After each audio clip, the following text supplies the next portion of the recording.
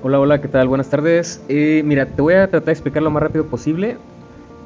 Cuando tienes un tema de conectividad y que la aplicación se te sale cada rato, solamente vete a configuración o ajustes, depende de tu celular, depende de la marca, depende de muchas cositas, pero normalmente viene como ajustes o configuración. Prácticamente es raro que venga de otra manera. Entonces te vas a configuración y tienes que buscar la parte de aplicaciones, ¿va? Entonces aquí yo me voy a buscar, me voy a buscar hasta encontrar el tema de aplicaciones, que aquí está, aplicaciones, ¿va? Entonces aquí en aplicaciones me voy a administrar aplicaciones, ¿sí? Vas a encontrar de repente ahí que dice ya aplicaciones este, que ya vienen por default en el sistema, ¿no? Tú vete a la, a la parte de administración de aplicaciones, no las que ya están por default en el sistema. Entonces, aquí en resumen, pues vas a irte a buscar a Rappi, o puedes escribirla acá arriba, o puedes buscarla como yo, pues ya sé que está en la R, entonces me voy a buscar a la R, y aquí está Rappi Aliados, ¿va? Entonces te vas a Rappi Aliados, y si te das cuenta, pues aquí ya viene como por default ciertas cosas que en mi caso, pues yo ya las estuve configurando en su tiempo, y este, pues bueno, me permiten que la aplicación esté funcionando correctamente. Esta parte de aquí que dice inicio automático, también si la tienes en tu celular, actívala. Recuerda, no todos los celulares van a estar iguales. Y acuérdate, muchos, de hecho, muchos, muchas cosas de estas configuraciones te van a decir eso. Que la batería se va a descargar más rápido, etcétera. Pues así es, así tiene que funcionar la aplicación. Si no, se te va a estar saliendo cada rato y se te va a desconectar. Porque no le estás permitiendo trabajar en segundo plano.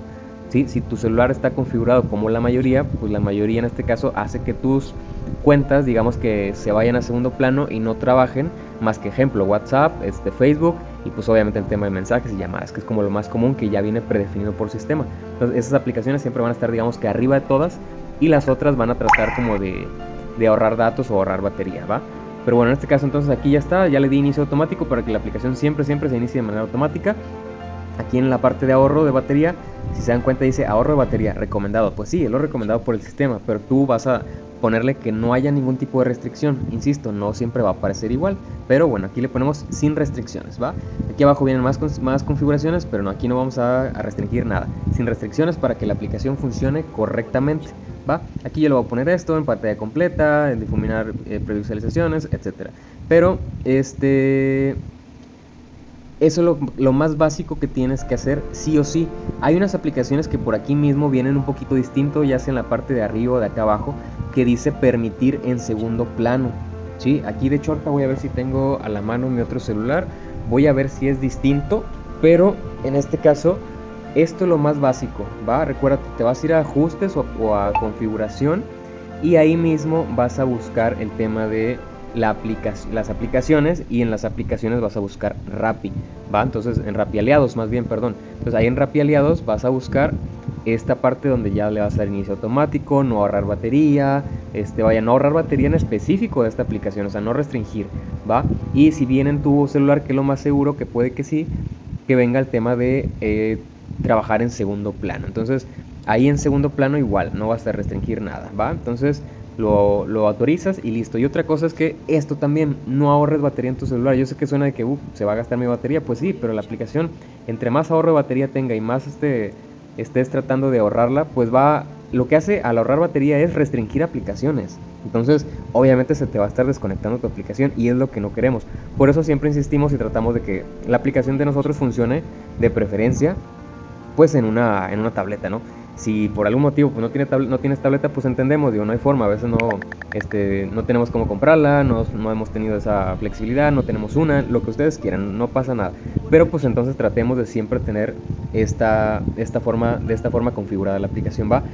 Como dato, digo, yo les he dicho a muchos de mis clientes, yo manejo tabletas, yo manejo este el tema de tabletas de 8 pulgadas con la mínimo que es 2 de RAM para que funcionen las aplicaciones. Y pues bueno, muchos de, mis clientes me lo terminan comprando, por si a alguno le interesa escríbame, pero pues la, el principal objetivo de esto es configurar de la manera correcta. Y miren, voy a ver si, yo creo que si sigue grabando esto, está un poquito borroso pero va a tratar de ser rápido, hice lo mismo, me fui a ajustes. Y aquí en ajustes, si se dan cuenta es un poquito diferente, aquí dice administrar notificaciones, pues igual permito todas las notificaciones de esa aplicación en este caso. Miren, déjenme, le doy una limpiadita súper rápida. Eso me echa, ya ven cómo cambia la cosa. Cuando uno se baña, las cosas cambian.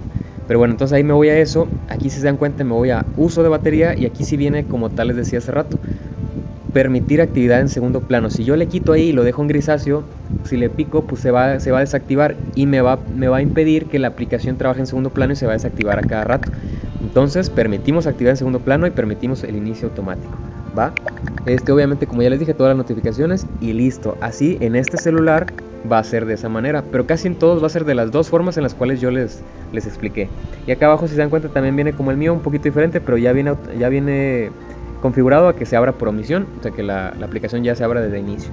¿Va? Entonces, básicamente es eso, por favor, apóyame en configurar tu celular de la manera correcta. Cualquier duda escríbeme, pero sí necesitamos mucho de tu apoyo para que la conexión esté siempre este, por encima del 70-80% para que no afecte tus ventas, no afecte este, al sistema, para que no haya suspensiones, para que claramente pues, tus clientes cuando te busquen siempre estés ahí. O si de plano no puedes atender el negocio todas las horas que nos habías dicho, no hay problema, configúralo, vete al portal de partners y configura de la manera correcta. Si habías puesto que abrías, ejemplo, de 10 de la mañana hasta las 10 de la noche y crees que no puedes, pues mejorarlo de 12 a 9, de 12 a 8, tú sabrás, pero configúralo para que eso también no te afecte y mejor cumplas el 100% de tu horario de conectividad, ¿vale? Así que cualquier cosa estoy al orden, escríbeme. Eh, un saludo, cuídense, bye bye.